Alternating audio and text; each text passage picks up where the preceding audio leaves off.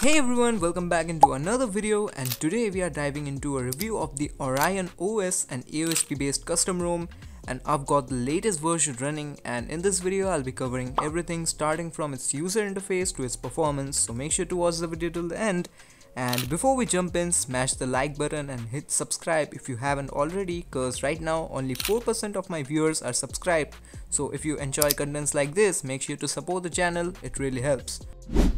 Now starting with the user interface, I have to say that Orion OS is one of the few Android 15 based ROMs that truly feels polished. At first glance, the setting apps might look similar to other AOSP based Android 15 custom ROMs with a clean and familiar layout but once you dive into the about phone section, you will notice the extra attention to detail. Here you get a well designed info tab displaying your device code name, manufacturer, RAM and processor details in a sleek organized way and when you open the Android version tab it looks even better.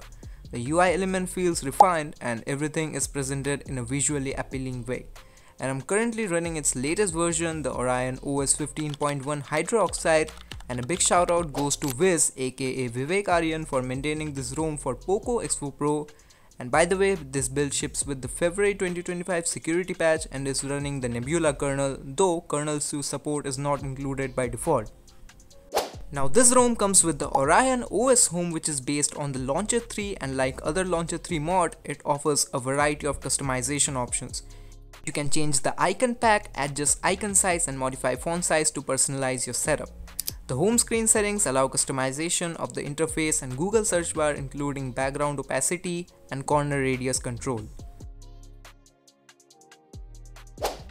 App drawer features include forced themed icons to generate monochromatic icons for apps that don't support them and you can also adjust the row height using this option. For the recent menu features so you can view memory info, take screenshots and use Google Lens and by the way circle to search works perfectly fine and there's also an option to hide your apps for extra privacy. Overall, Orion OS offers a clean, customizable and feature-rich experience.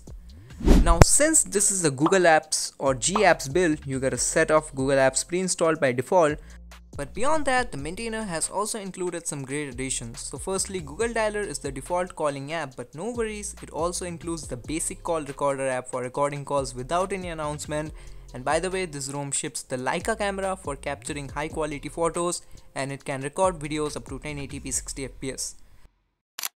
And by the way, if you are an audiophile, audiophile. The Dolby Atmos is pre-included for an enhanced audio experience, but that's not all. You also get the ViPER4Android, which is one of the best audio equalizers for Android devices. So if you don't know about it, I have made a detailed video on how to use it, so make sure to check it out from the i button. So yes, that's for the pre-installed apps. Alright, now let's talk about the features and customization this ROM delivers. So when you hit it in the settings, you will find a dedicated tab called Molecular. And this is where all the cool customizations are packed.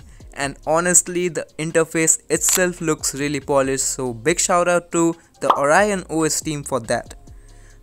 Starting off with the lock screen features, you get Pulse which shows a visual audio equalizer that appears on the navigation bar, lock screen or even ambient display while you play music and below that you find more customization options to tweak your lock screen exactly like you want. Moving on to the QS settings, you can change the battery icon style and even modify your QS panel looks. Right now I have set it on default and now if I switch it to outline, you will see that it applies the changes. And you can also adjust the number of rows and columns in your QS panel and even enable animations for QS styles which adds a nice touch. Now coming for the theming options, you get multiple font styles and even you can customize the lock screen clock font. But that's not all, you can tweak your system icons, app icon shapes, signal icons, Wi-Fi icons and navigation bar icons. Also an option to change the brightness slider style but unfortunately it doesn't seem to work at the moment like even if I select any of the style I see no changes. Hopefully this gets fixed in the future updates. Next up we have the status bar features and here you can customize the status bar clock and even add a background chip on it. There are also a couple of battery styles like the iOS 15 landscape battery which applies instantly plus you get a couple of pre-included logos that you can add to your status bar for a unique look. For notifications, there's the edge light feature which lightens up the screen when you receive an ambient display notification and talking about gestures, you get the quick tap gesture which means that you can double tap the back of your phone to trigger actions.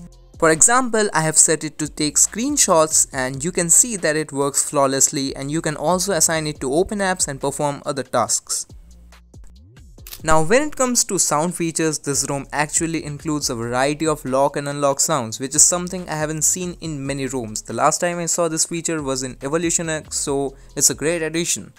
Now for the miscellaneous features, so this ROM includes component spoofing but there are few issues. The play integrity fix is here but every time I try to check the values it crashes. So that's definitely something that needs to be fixed and there's also app specific spoofing like higher FPS spoof for games but unfortunately it didn't work for me in BGMI. However, the Google Photo spoof works perfectly fine so no issues there. Now in the app section you get the game space which helps optimize the gaming performance and monitor FPS while you're playing the games. Under the display settings, you get the per app refresh rate feature allowing you to set custom refresh rate for different apps and there's also an option to adjust the saturation for more vibrant display. There's also touch boost which increases the touch polling rate to make the screen feel more responsive and lastly there's an auto high brightness mode which kicks under the direct sunlight and works perfectly fine. So yes, that's all for the features and customizations and now let's talk about the performance this ROM delivers. Now let's talk about the performance of this ROM. So starting with the benchmark scores, I ran Antutu and this device scored around 405k which is pretty decent and the CPU throttled to 81% of its max performance with a peak score of 193k and now you might be thinking that is this performance lower than expected? But honestly in real world usage it doesn't feels like that at all. To test the actual gaming performance I played BGMI on smooth plus extreme graphics now by default you don't get the extreme settings so I had to flash the FPS unlocker module since the built-in spoofing didn't work. So keep that in mind if you plan on trying the same. Now for TDM matches I got consistently about 57 to 60 FPS which is really a good number and even in longer sessions the FPS hovered to 55 FPS consistently with no major frame drops or overheating issues at all. And by the way, for the TDM matches, the battery drain was max 2% every match. And if I talk about the overall battery backup, then yes, you can expect 7 plus hours of battery backup even on moderate to heavy usage, which is pretty impressive. So performance wise, this ROM holds up really well whether you are gaming or using it for daily tasks.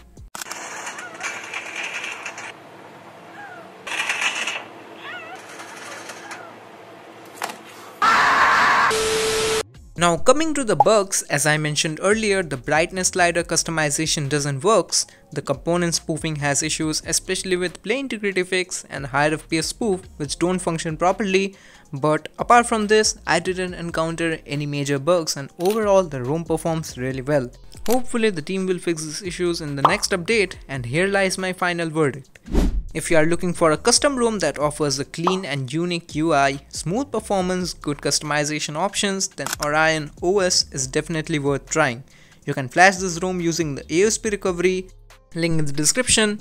So yep, that's it for the review and if you enjoyed this video make sure to like, share and subscribe to the channel for more awesome content and see you in the next one. So goodbye and take care.